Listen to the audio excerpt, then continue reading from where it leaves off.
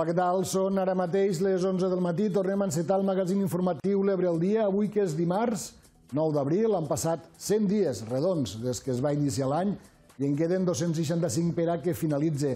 Pel que fa al temps, el vent del nord ha refrescat l'ambient, fent que les temperatures hagin baixat respecte dels dies anteriors de manera notable. Una tendència, però, que durarà unes hores, ja que demà sembla que tornarien a pujar. De fet, el planeta, en conjunt, ha registrat el mes de març més càlid des que es recullen dades i encadena 10 mesos consecutius de temperatures de rècord.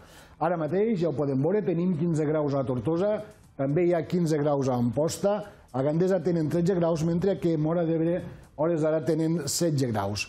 Pel que fa al santoral, entre altres, avui els sants que se celebren són Sant Acaci, Sant Concés, Sant Eupsiqui, Sant Uc, Sant Marcel, Sant Procor, Santa Baltrudis i Santa Casilda de Toledo, era una jove musulmana, filla de l'emir de Toledo. La noia era coneguda per tothom per la seva generositat, especialment amb els presoners cristians als que portava ajut i menjar. Un dia va ser sorpresa mentre portava pa als presoners quan li van demanar que portava el pa que duia es va transformar miraculosament en roses. La noia va emmalaltir i els metges no van saber trobar-li cap remei. Alguns cristians li recomanaven anar a Briviesca, a la província de Burgos, on hi havia una font anomenada de Sant Vicenç, amb aigües tingudes com a medicinals. Va anar, se va curar, per la qual cosa Casilda va convertir-se al cristianisme. Va ser batejada i es va retirar a fer vida eremítica a una ermita propera a la font, que en honor seu s'anomena ara la font de Santa Casilda. Va morir centenària i va ser enterrada a l'església de Sant Vicente, prop de Briviesca. El que fa al Dia Mundial, avui no es commemora cap Dia Mundial ni internacional. Això sí, se celebra el Dia del Pagament Igualitari a l'Argentina, el Dia Nacional de Winston, de Winston Churchill als Estats Units i el Dia Nacional de la Memòria i la Solidaritat amb les víctimes del conflicte armat a Colòmbia. I pel que fa a les efemèrides, dir-los que tal dia com avui, un 9 d'abril de l'any 1866, als Estats Units es promulgava l'Acta dels Drets Civils.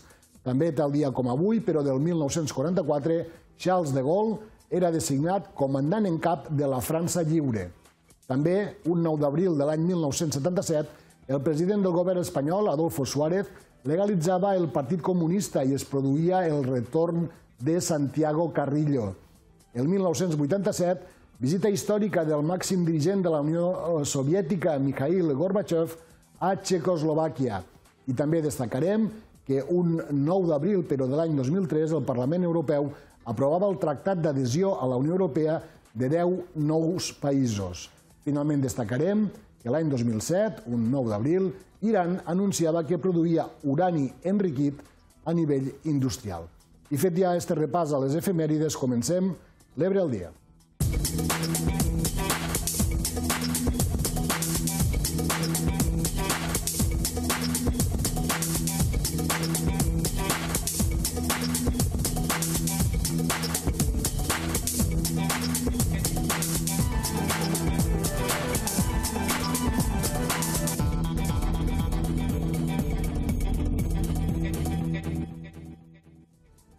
Aquesta hora volem saber què és el que serà notícia este dimarts aquí a les Terres de l'Ebre. Com sempre, comencem amb la connexió que fem puntualment cada dia amb Delta.cat, on hi ha les nostres companyes Diana Mari i Leonor Bertomeu. Justament saludem ja a Leonor un dia més. Leonor, bon dia. Bon dia.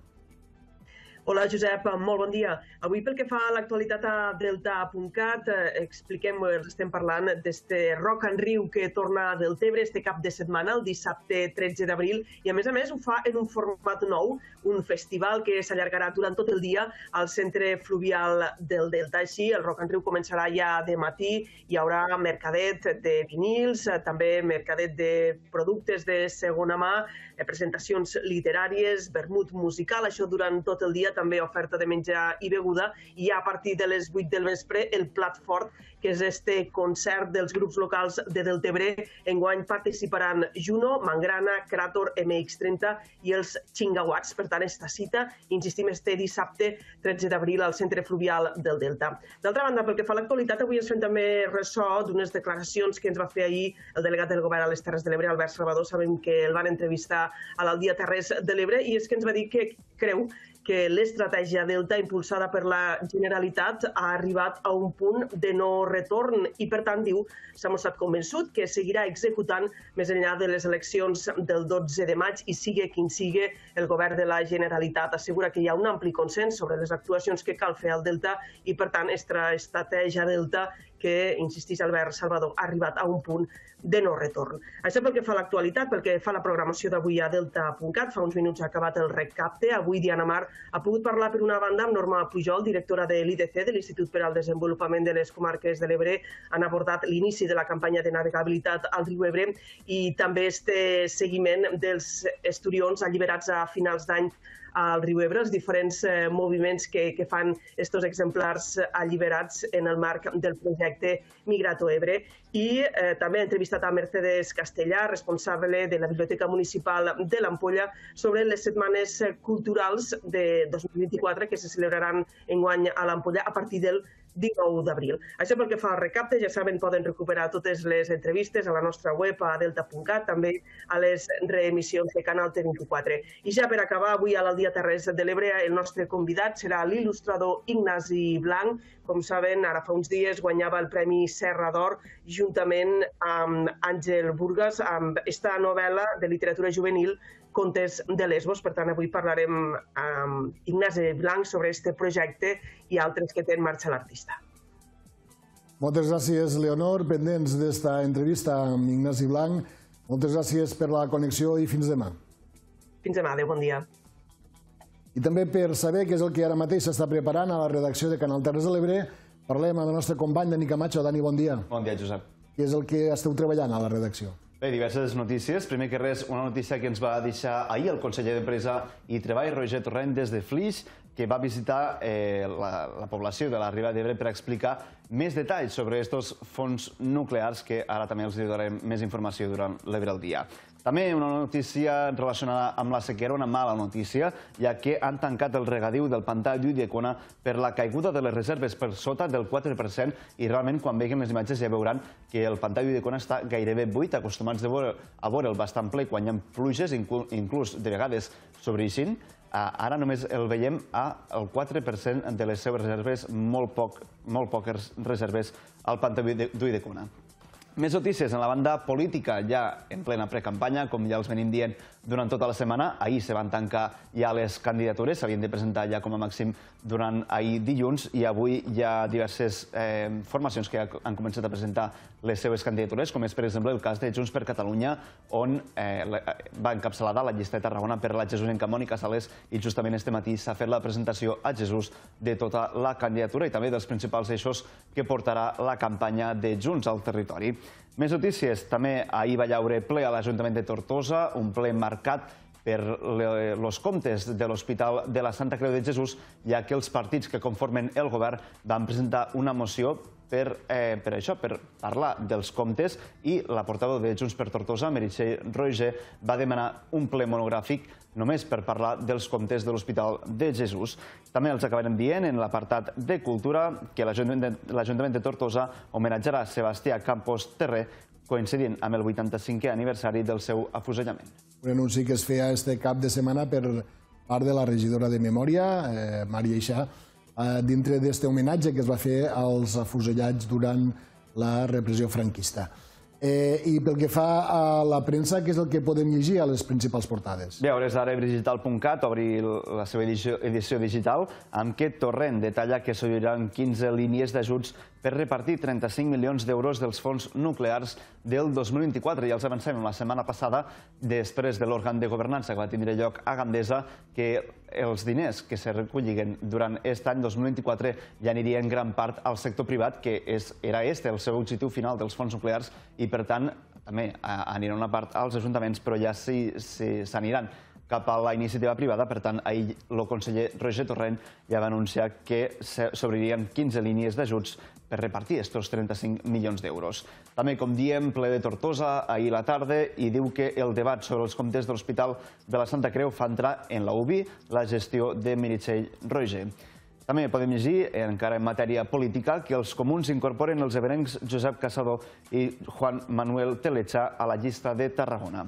Pel que fa a Imagina Ràdio, podem llegir que Endesa engega un beso digital a centrals hidràuliques de les Terres de l'Ebre, Lleida, Girona i Osona. També podem llegir que les Setmanes Culturals 2024 de l'Ampolla se celebraran del 19 al 28 d'abril.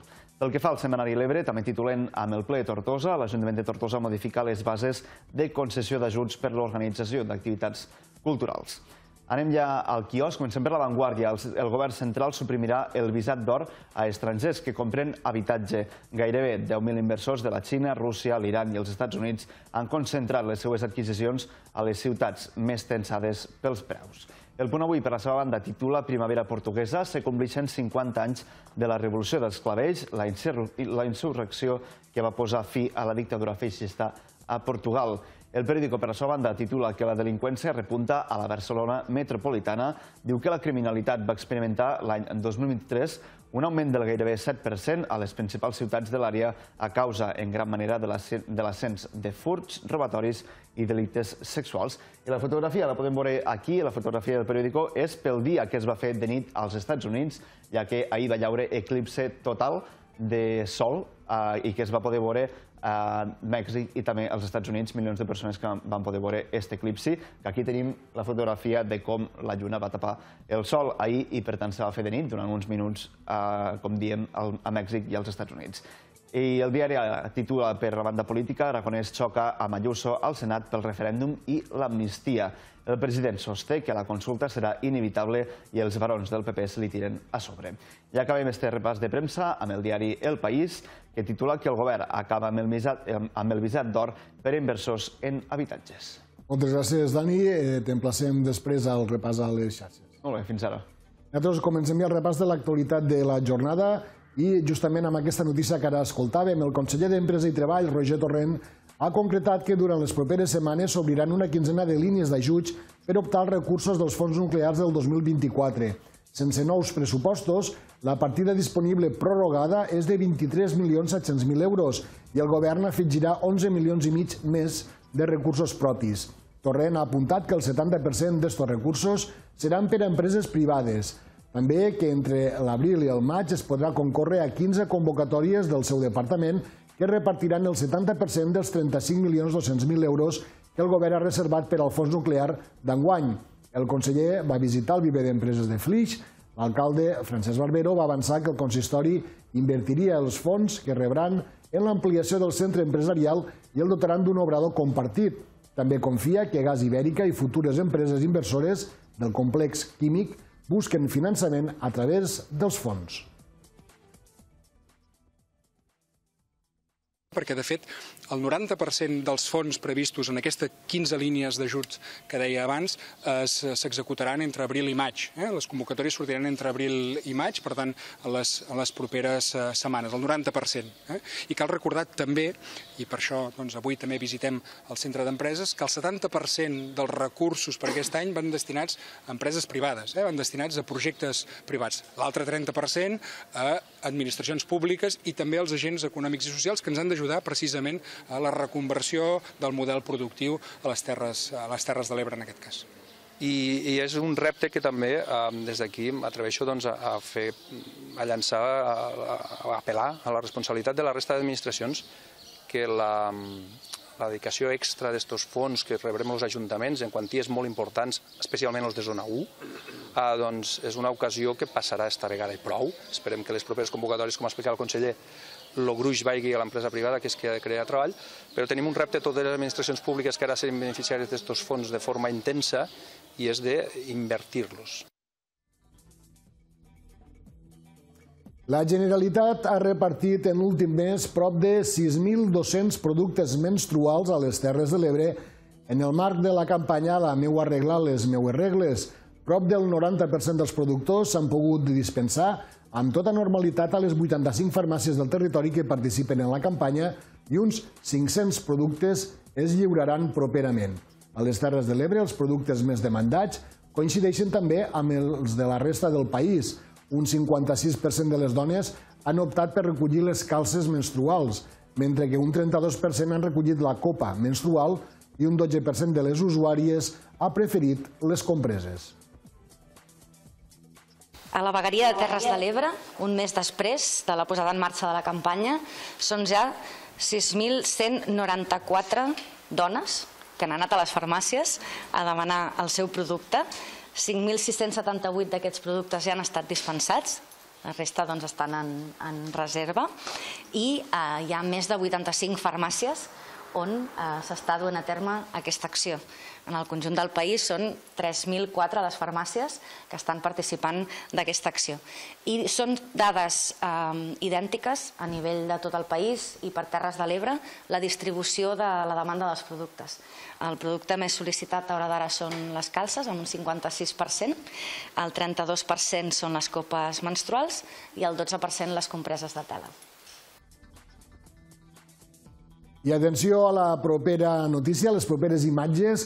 L'aigua del pantà d'Ulldecona no es podrà destinar a usos agrícoles a causa de la sequera que ha deixat sota mínims l'embassament per sota del 4% de la seva capacitat.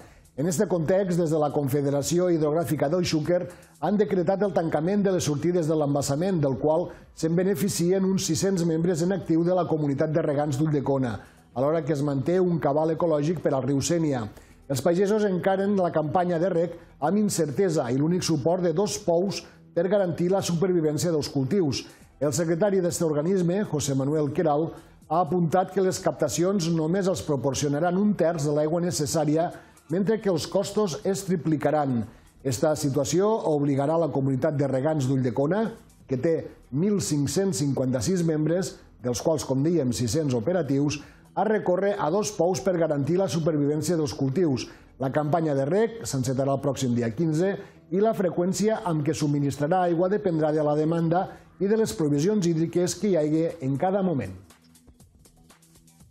les perspectives per a la campanya de rec actual en les condicions, en aquestes condicions són molt negatives perquè no tindrem, o sigui, pràcticament disponibilitat d'aigua, el que ens obligarà a ficar en marxa les dues captacions d'aigua subterrània, dos pous que es van fer per a, per a rec d'auxili, que representarà una tercera part de, del caudal necessari en un increment de costos que es triplicarà per els costos de l'energia, llum i gasoil per poder extraure l'aigua.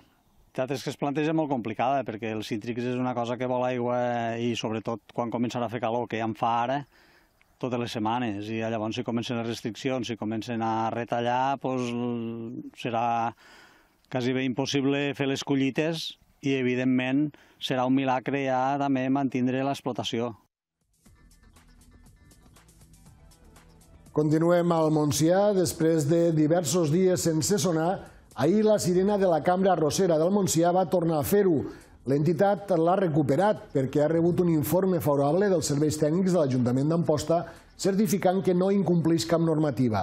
L'aturada puntual d'aquest element considerat patrimoni immaterial de les Terres de l'Ebre era motivada per precaució davant d'una denúncia d'un veí que viu a prop de les instal·lacions.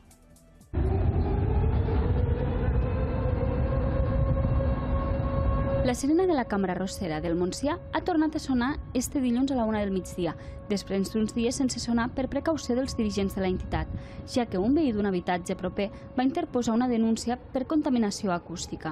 Els serveis tècnics de l'Ajuntament han elaborat un informe després de mesurar el soroll i certifiquen que és puntual i n'avalen la seva continuïtat, ja que asseguren que no hi ha cap incompliment normatiu. En principi, a no ser que un jutge determini que, no, que, que que, que el mesurament és incorrecte o, no sé, o que tingui altres criteris que no siguin aquells merament tècnics, eh, en principi la sirena continuarà tocant, perquè ja ho hem dit, i ho vam parlar també en la càmera rossera, de que entenem que l'únic que pot fer aturar la sirena és un jutge, per tant no té cap sentit que estigui pagada.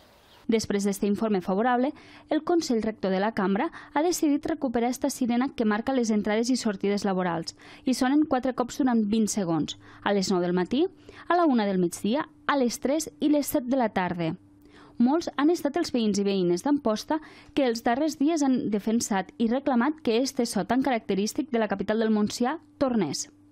M'he guiat sempre més per la sirena que pel rellotge tota la vida ha sonat, no em molestava, no sé, no un pinyó. Jo vivia allà fora també i jo sentia. Però això és una tradició de, de fa molts anys, de cent i pico d'anys, Llavors estic a favor de que soni. Jo estic a favor de que estigui la sirena. Que per aquí, per la Riviera, sempre ens guiaven per la sirena, a toc de sirena. més que del rellotge. Que jo vic allà fora. I què troba? A mi, fatal. Jo fa 50 anys que vic allí i la sirena ja dia que ni la sento. Home, de que són la sirena que ha sonat tota la vida. Si se n'ha anat a viure la gent allà fora és problema d'ells, però la sirena és una cosa que tota la vida l'hem sentida. La causa continua oberta contra l'alcalde i el president de la cambra rossera, Àlex Morales, el jutjat d'instrucció número 1 d'Amposta, on la jutgessa dictaminarà sentència un cop rebi l'informe tècnic dels serveis jurídics de l'Ajuntament. Mos quedem en posta perquè els molins arrossers seran els protagonistes de l'edició d'enguany de la Festa del Mercat a la plaça, que se celebrarà del 16 al 19 de maig. Els treballadors i treballadores de l'arròs van contribuir al creixement d'Amposta com a ciutat, per això se'ls vol fer este homenatge. Avui s'ha presentat el cartell de la festa i representa una escena de treball de principi del segle XX del sector arrosser. Seguint la línia modernista de les passades edicions, el cartell està inspirat en fotografies de l'època es poden observar diferents treballadors i treballadores.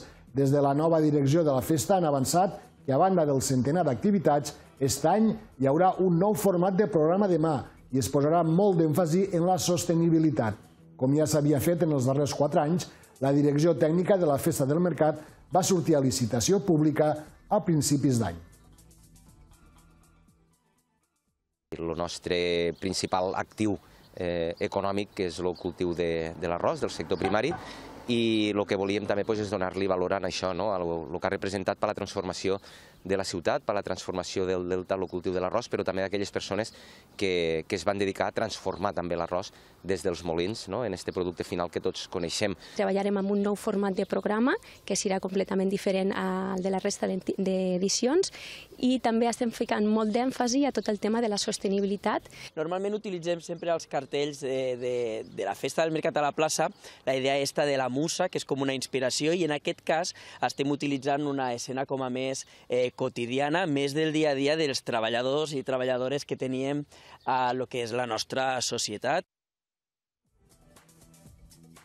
I el festival Rock en Riu torna del Tebre este cap de setmana ampliant la seva programació, comptarà amb l'actuació dels grups de música locals i també oferirà un mercat de música i de roba de segona mà i també altres activitats culturals que s'allargaran durant tot el dia, entre ells un vermut musical o presentacions de llibres. A partir de les 8 de la tarda serà el torn dels concerts. Seran de Juno Mangrana, Krator, MX30 i Chingawats i la nit continuarà amb DJs. A més, hi haurà servei de food trucks durant tot el dia. Eh, enguany hem fet una programació i una, un format nou del Rock en Riu i ho farem en format de festival. Per primera vegada ho farem al centre fluvial i ho farem eh, a l'interior de l'espai. Així que enguany farem un festival que durarà tot el dia. Omplirà pues, tot un dissabte d'activitat eh, cultural des de les 11 del matí fins a eh, passada la mitjanit, no? també en DJs que participaran i que amenitzaran després de l'actuació del, dels grups de música locals. I tot seguit donem un cop d'ull als posts més destacats que hem vist a les xarxes socials, a X. Eh, Dani Camacho. Sí, comencem avui parlant de trens una altra vegada perquè este matí ja hi ha hagut una altra incidència relativa a la R16 i R15 que afecten les Terres de l'Ebre. Comencem amb esta, per una incidència d'Iurrodolies que afecta la infraestructura. Se produeix limitació de la capacitat operativa al tram Garraf-Sitges. Diu que per minimitzar minimitzar l'afectació en aquest trajecte se redueix la freqüència a dos trens per hora i sentit a la línia R2 Sud i també que afecten les Terres de l'Ebre. Però és que ahir dilluns per la tarda també va haver una altra averia, que en aquest cas va haver de tallar la circulació de trens entre l'Aldea i l'Hospitalet de l'Infant a conseqüència d'una avaria d'un tren de mercaderies que hores després ja se va poder resoldre. Tot i això, diversos usuaris bastant enfadats amb aquesta avaria que es van eh, quedar atrapats en aquests trens amb diversos retrasos. Ja, ja ho podem veure aquí, al, al perfil de Trens Dignes Terres de l'Ebre. I aquí, eh, este usuari de Twitter, Procés Ebre, diu que amb un transport ferroviari amb moltes mancances, la carretera molts dies tampoc no és una alternativa per a connectar les Terres de l'Ebre amb la resta de territoris, ja que cita dos tuits que hi havia eh, diversos, diverses, diverses retencions també, volíem dir, en trams de la P7 i per tant diu que ni en tren ni en cotxe se pot anar o tornar de les Terres de l'Ebre. Haurem d'anar per l'aire. És quasi que sí, un aeroport. I acabem parlant de temps perquè avui el vent és protagonista a les nostres terres. Ja veuen que el Servei Meteorològic de Catalunya ha activat les alertes al Baix Ebre i al Montsià per possibles ratxes màximes de vent de fins a 90 km per hora. De fet, ja l'hem començat a notar esta nit i se preveu que dure durant tot el dia d'avui, però que demà ja aniria afluixant la velocitat del vent. Podem dir que de cara a la nit matinada la cosa minvarà, no? Sí, i a partir de demà ja arriba, esperem, un altre anticicló que portarà bastant bones temperatures, quasi, quasi, de finals de maig. Molt bé, Dani Camacho, moltes gràcies i fins demà. Gràcies, fins demà. Nosaltres ara fem una aturada publicitària en tornar. Avui, dintre de l'espai de l'entrevista, parlarem amb l'historiador Toni Cartes a propòsit del seu llibre La flota de pesca marítima i fluvial del districte marítim de Tortosa 1857-1942.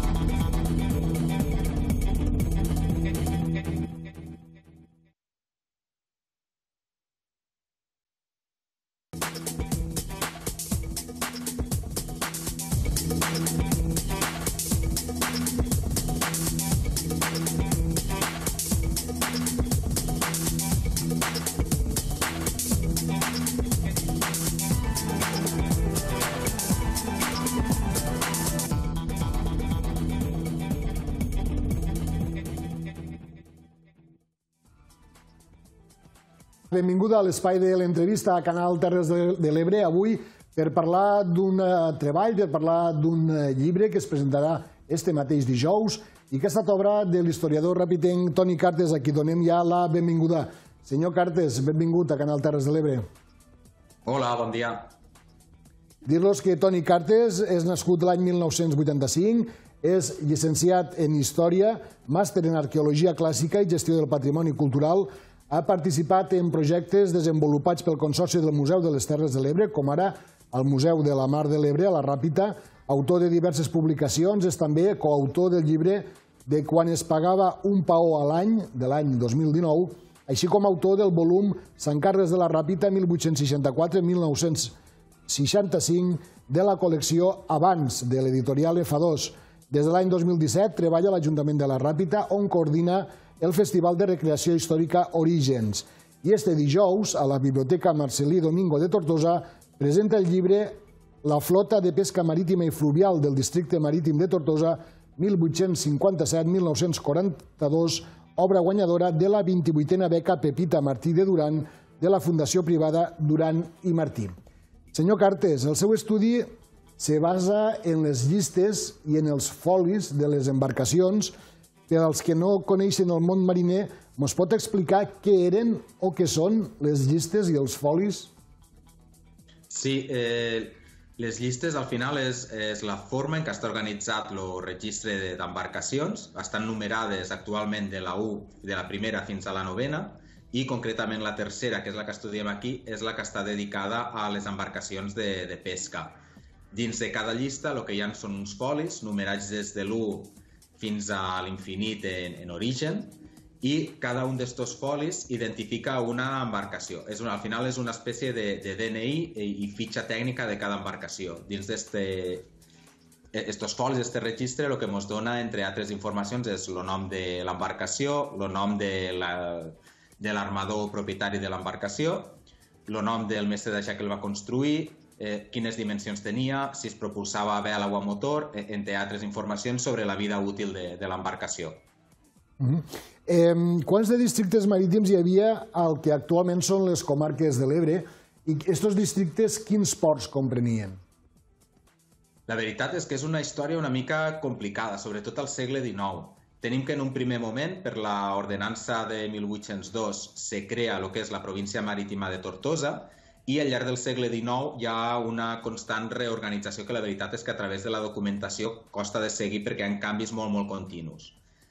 A mitjans de, del segle XIX, cap a 1854-57, eh, el que es fa és que aquesta província se partix en dos districtes. Per un costat naix el districte marítim de, de la Ràpita, que, que inclou el port de la Ràpita i l'Alcanà, i per un altre costat està el districte marítim de, de Tortosa, que el que fa eh, este, marit, este districte el que inclou és el tram final del riu Ebre, des de la, la comarca de, actual de la Ribera d'Ebre fins a la desembocadura, i també els ports de mar de l'Ampolla i de la Metlla de Mar.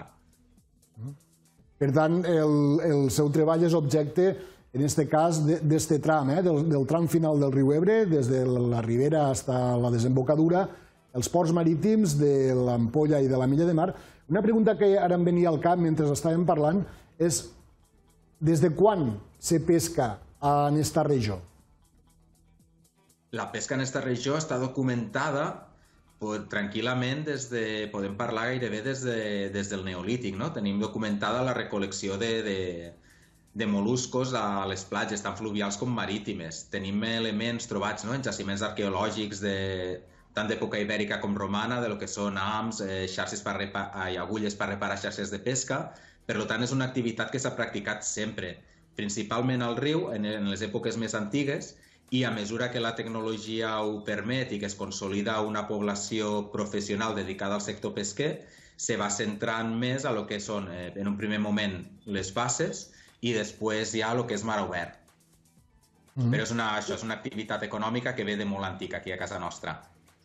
Eh, I aquesta activitat econòmica, eh, li pregunto quines són les pesqueres, és a dir, quin era el tipus de pesca que es feia i, en tot cas, eh, si s'utilitzaven embarcacions quin tipus d'embarcacions s'utilitzaven? Tenim documentada, eh, clar, embarcacions en tenim moltíssimes, no? Ara sorprèn no, que quan parlem amb la gent, doncs, eh, tot és, a tot li diem barca, però tal com tires atrás, la veritat és que hi ha una especificació de, de, de tipologies d'embarcació molt, molt acurades.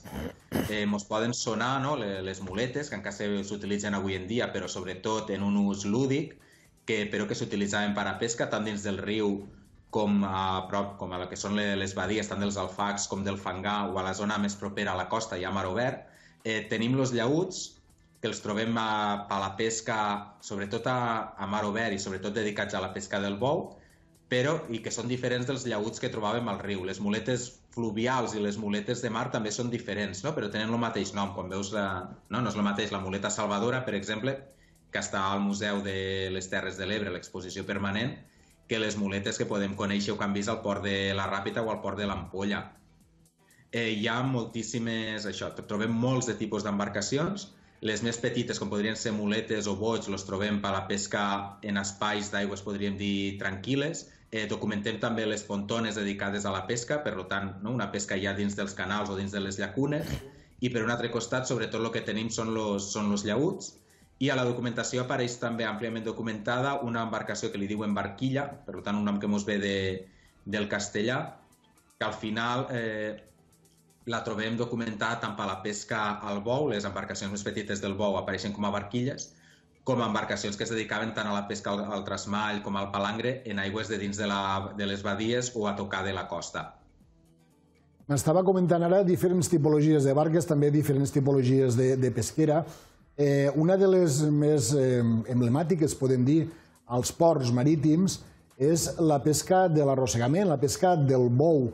I un dels temes que em sorprèn al seu llibre és que ja des dels inicis, pràcticament des de, des de començament del segle XIX, ja es feien aturades biològiques.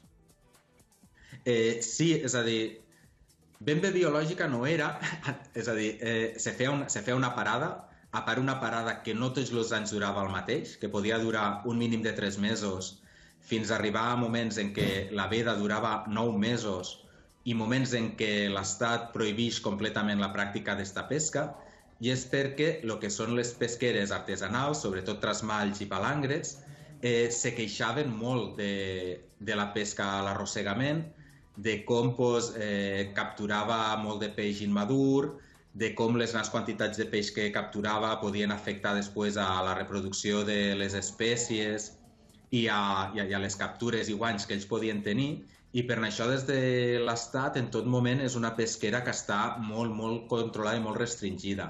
En estos folis, a les embarcacions que es dedicaven a la pesca del boc, que en aquesta època només les trobem al port de la Metlla de Mar, a, to, a molts de folis, els més, sobretot els més antics, cada any hi ha una nota de conforme aquella embarcació està autoritzada a anar a pescar al bou.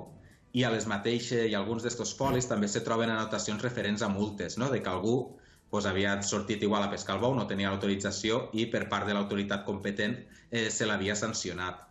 Per tant, bueno, estem parlant de fa 140, 160 anys, eh, la documentació més antiga que, que han pogut localitzar, i que guarda certes similituds en el que és el dia a dia de, dels pescadors d'arrossegament aquí a casa nostra bueno, i, i a la costa del Mediterrani en general. Uh -huh. Eh, fa uns moments vostè ens comentava que històricament havia tingut molta importància la pesca tant al riu com a les basses, fins i tot eh, una importància, mm, no sé si major o similar, en tot cas, a la pesca que es feia a la mar, però sí que és veritat que s'observa que a partir del segle XIX la tendència canvia i la pesca al riu i a les bases, al riu sobretot va baixant i guanya protagonisme la pesca marítima. Per què es produeix això? Eh, per quins motius? Tenim, sobretot, eh, per un costat, tenim que a finals de, del segle XVIII eh, apareixen els actuals nuclis que tenim a la costa tant del Baix Ebre com del Montsià. No? A finals de, apareixen la, la Metlla de Mar cap a la dècada de 1770-1780, entre finals del 18 i els primers anys del 19 se consolida també el nucli de, el nucli de l'ampolla i això el que fa és que aquestes societats de, de pescadors, que en un primer moment se centralitzaven a Tortosa, comencin a baixar en aquests ports de mar. No? En el cas de la Mella tenim eh, grups importants de pescadors que venen del Grau de València, que venen de la zona de Benidorm i eh, s'assenten en aquesta zona. Això fa que, a poc a poc, eh, la pesca al riu vagi desapareixent. També tenim lo, el problema pels pescadors d'aquell moment de que eh, la introducció del cultiu de l'arròs al delta i la construcció de canals i desguassos que porten tota aquesta aigua dolça del riu i que sobra dels arrossars cap a les bases fa que canvi el que és eh, la, la salinitat, que canvien el tipus de fons que tenen aquestes bases i a poc a poc aquesta pesca eh, va, ho diuen ells, eh? hi ha documents on s'entrevista a pescadors grans d'aquell moment i expliquen com aquests canvis estan fent que baixe la qualitat del peix, ells diuen que li canvia el gust al peix, expliquen eh, com uns fons que en un primer moment eren sorrencs doncs ara són fangosos i això fa que no, que no hi haguen tants animals o tants de peixos vivint allí dins i eh, la suma d'aquests dos factors, no? estos canvis medioambientals a les bases, més l'acumulació, la creació d'aquests nuclis de, de pescadors, fa que tota l'activitat pesquera se traslladi a la costa i també eh, que, que cada vegada més se pesqui dins, dins de la mar. Tenim en compte també que ja des de finals de l'edat mitjana en la construcció de, de la sud de Xerta i el recreixement que es fa també de la sud per poder donar regadiu al primer al marge dret i després al marge esquerre, no? en, en la introducció de, del monocultiu de l'arròs, fa que canvi la dinàmica de, dels peixos que, que hi ha al riu i, de, i dels que entraven a pescar al riu. Tot i així, el que està considerat l'últim pescador professional a l'Ebre, que era Pepe Sapinya d'Amposta, ell va estar en actiu fins als anys 60-70 de, del segle XX, però era una activitat molt, molt residual. Uh -huh. Parlem de, de la construcció d'embarcacions. De, Vostè esmenta un seguit de drassanes i de nissagues de mestres d'aixa i de, de calafats.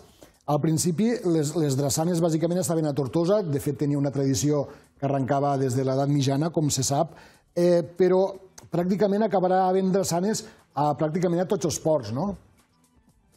Sí, este desplaçament de la població pescadora, d'aquests professionals cap a la costa, fa que en ells a poc a poc també es vagin desplaçant totes aquelles activitats que giren al voltant de la pesca.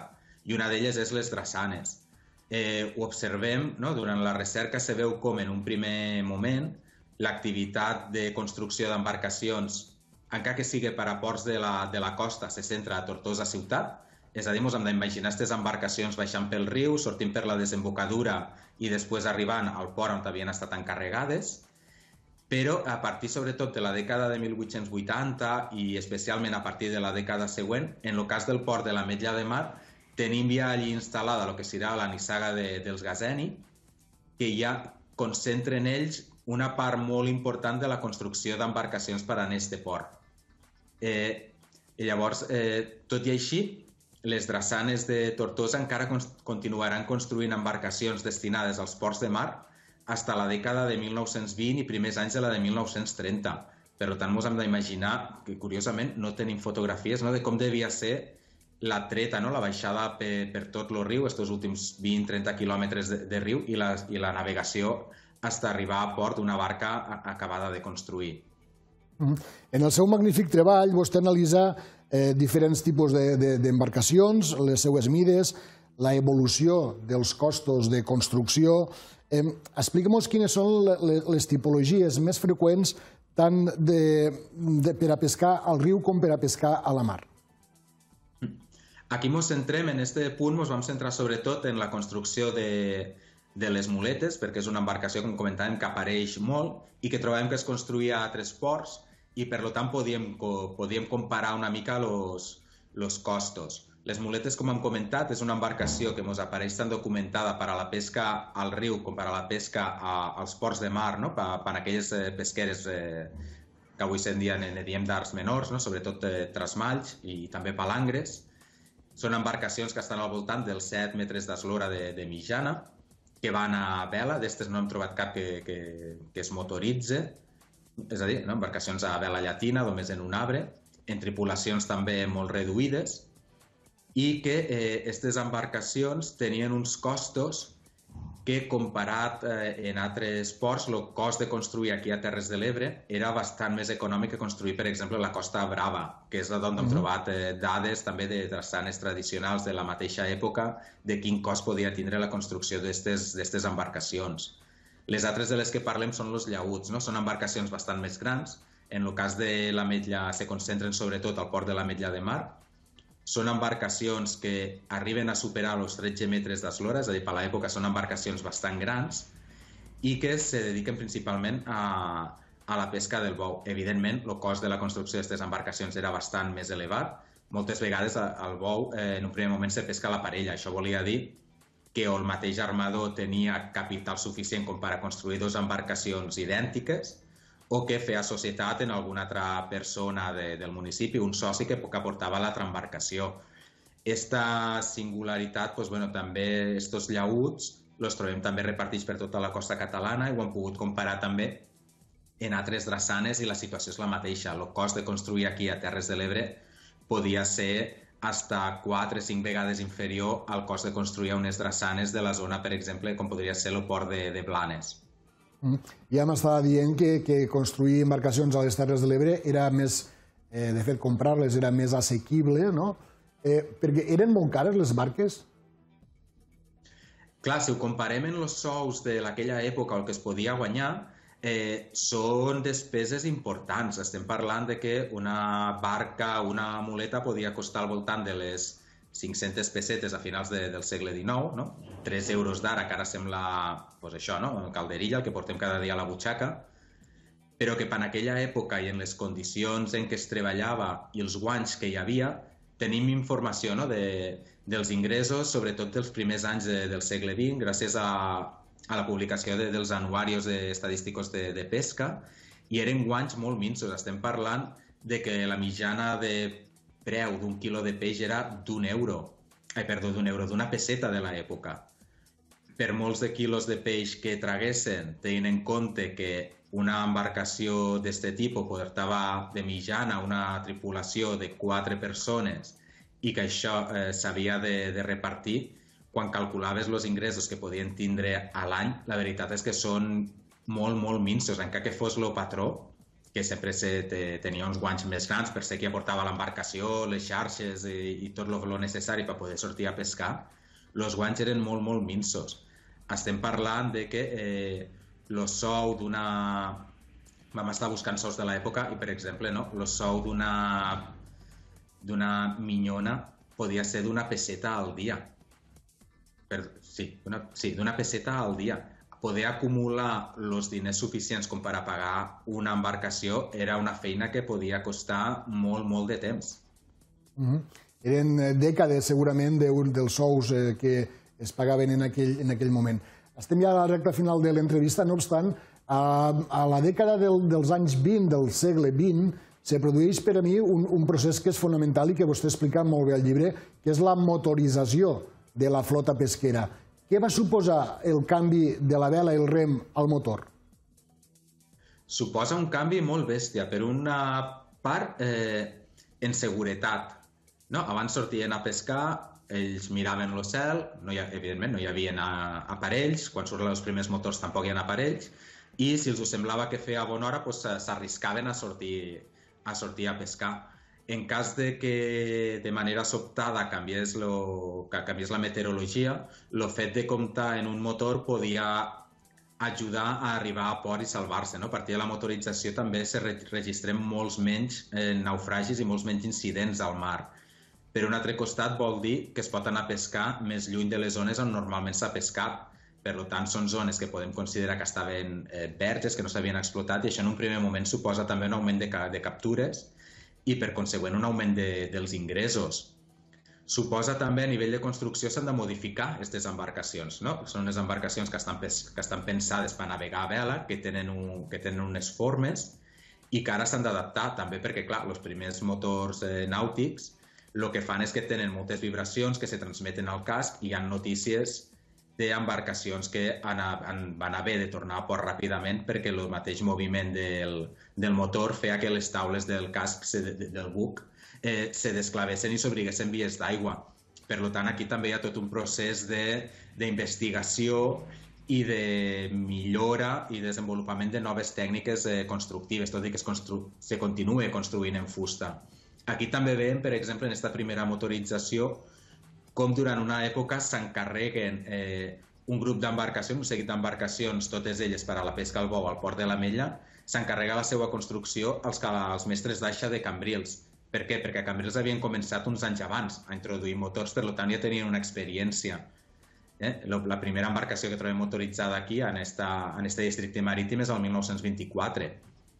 Eh, a Cambrils havien començat a finals dels anys eh, 10 a construir embarcacions a, a motor. És a dir, és un procés que per un costat aporta seguretat i per un altre costat aporta també eh, majors guanys. Tot i així, les inversions que havien de fer també eren majors si una barca del bou en aquesta època costava al voltant de les 5.000 pessetes el que és construir el casc, el buc, no? que ja era un desemborsament de diners importants, estem parlant de que un motor de l'època podria valdre hasta 3 i 4 vegades el que havia suposat la inversió només de fer, de fer un casc de fusta. Per tant, també era arriscar, arriscar molt. En aquests primers anys de la motorització també trobem gent, trobem armadors que munten un motor i al cap d'un any, dos anys, eh, lo desmunten i no en, porten, no en posen cap més i tornen a la navegació a la vela. Suposem que per això, per problemes, per poder assumir els costos que suposava eh, pagar pagar estos, estos motors, aquestes inversions enormes. I fins i tot en algun cas, eh, malauradament, se, se, se documenta que hi ha embargaments de, de les embarcacions per no poder fer front a les despeses que suposava aquesta motorització. Són alguns dels aspectes eh, que conté este magnífic treball que serà presentat eh, dijous a la Biblioteca Marcelí Domingo de Tortosa, el treball de Toni Cartes, la flota de pesca marítima i fluvial del districte marítim de Tortosa, 1857-1942, publicat per la Fundació Privada Duran i Martí. Senyor Cartes, enhorabona per aquesta magnífica feina i eh, emplacem a tots els nostres espectadors a adquirir el llibre o, en tot cas, a assistir a la presentació d'este dijous a la Biblioteca de Tortosa. Moltíssimes gràcies i enhorabona. Moltes gràcies, Josep. I a tots vostès només ens resta, com cada dia, agrair-los l'atenció que ens han dispensat. Recorden que tornarem demà a la mateixa hora amb una nova entrevista aquí, al canal Terres de l'Ebre.